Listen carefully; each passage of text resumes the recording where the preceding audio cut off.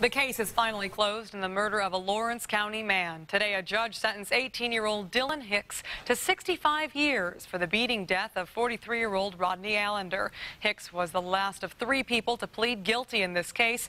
19-year-old Austin Curtis is serving 55 years. 21-year-old Taylor Flynn is serving 65 years. And investigators say the three went to Alexander's home in February 2014 to rob him.